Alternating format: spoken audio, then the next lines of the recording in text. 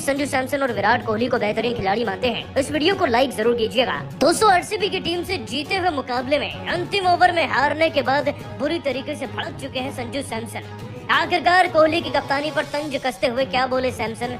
आपको उनके बयान का पूरा वीडियो दिखाने जा रहे हैं, लेकिन उससे पहले आप सभी को क्या लगता है? संजू सैमसन, विराट कोहली और रोहित शर्मा। तीनों में सबसे बेहतर खिलाड़ी और सबसे बेहतर कप्तान कौन सा है, नीचे कमेंट करके हमें ज़रूर बताइएगा। दोस्तों आईपीएल 2023 का एक और बेहद ही घमासान मुकाबला आरसीबी और राजस्थान रॉयल्स की टीम के बीच में खेला गया। बेंगलोर के मैदान में मुकाबला था तो बेंगलोर का पलड़ा तो भारी पड़ना ही था। आरसीबी की दोस्तों पहले बल्लेबाजी आई। विराट कोहली की शुरुआत खुद कप्तान के तौर पर तो अच्छी रही नहीं। वो शून्य पर आउट हो गए और उनके बाद शाहबाज अहमद भी दो रन पर।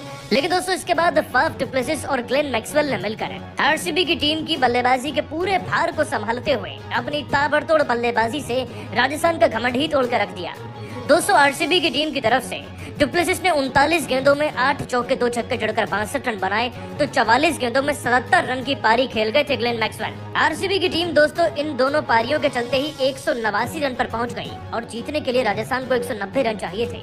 दोस्तों, शुरुआत तो राजस्थान की टीम की भी कुछ ज़्यादा अच्छी नहीं थी। शून्य पर बटलर आउट हुए। लेकिन यशस्वी जायसवाल ने देवदत्त पडिकल के साथ मिलकर फिर पारी के ग्यारहवें ओवर तक टीम को सौ के पार तक पहुँचा ही दिया था। जायसवाल सैंतीस में सैतालीस तो वही देवदत्त पडिकल चौतीस में बावन रन बना चुके थे। इन दोनों खिलाड़ियों की यही तूफानी पारी दोस्तों सौ के पार तो ले गई थी राजस्थान को, लेकिन अभी भी जीत का सफ़र बहुत दूर था। संजू सैमसन भी दोस्तों पंद्रह गेंदों में बाईस रन बनाकर आउट हो गए, तब राजस्थान की टेंशन पड़ी और शिमरन हेटमायर भी आज तीन रन लगाकर रनआउट जैसे ही हुए। तभी अंतिम पोलो का मोमेंटम बिगड़ गया। मुकाबला अपने अंतिम ओवर में प्रवेश कर चुका था और दोस्तों, यहाँ से जीतने के लिए छह गेंदों में लगभग 20 रनों की दरकार थी।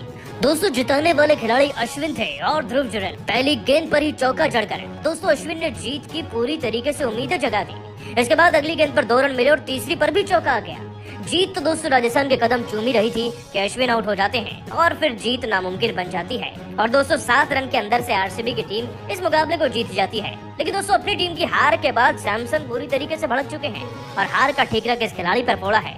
हार के बाद सैमसन क्या बोले हैं? चलिए, आपको उनका बयान दिखाते हैं। दोस्तों, आपको बता दें कि सैमसन ने हार के बाद अपने बयान में कहा जब आप इस मैदान में खेलते हैं तो एक एक रन बेहद ही कीमती होता है। मैं यहाँ पर बहुत मैच खेला हूँ और जानता हूँ कि यहाँ पर एक रन से भी कोई टीम हारती है तो कोई जीत भी जाती है। इस बात में कोई शक नहीं कि आज हमारी टीम के खिलाड़ियों ने ज़रूरत से ज़्यादा रन गेंदबाजी में लुटाए। परंतु मुझे पूरा विश्वास था कि बल्लेबाजी में हम इसे चेस करने का दम रखते हैं।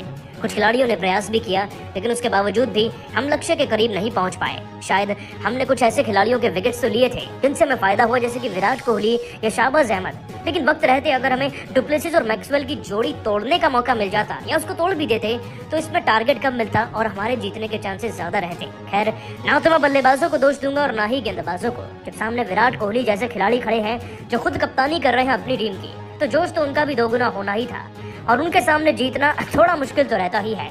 परंतु अब हम दो मैच लगातार हार चुके हैं, और तीसरे मुकाबले के लिए हमारी केवल एक ही रणनीति रहेगी, किसी भी हाल में जीतना है। और अगर इस टूर्नामेंट में आरसीबी से एक बार फिर से सामना हुआ तो उन्हें हराने का पूरा प्रयास करेंगे। दोस्तों, संजू सैमसन ने अपने बयान में वैसे तो किसी भी टीम के एक खिलाड़ी को हार का जिम्मेदार नहीं बताया है, लेकिन कोहली की कप्तानी कितनी दमदार है। और वो कैसे किसी भी टीम को हरा सकती है, इस पर वो ज़रूर बोल गए। लेकिन दोस्तों, आप सभी को क्या लगता है? कोहली और सैमसन में बेहतर खिलाड़ी और कप्तान कौन है? नीचे कमेंट करके हमें ज़रूर बताइएगा। और अभी सब्सक्राइब कीजिए हमारे यूट्यूब चैनल को। धन्यवाद।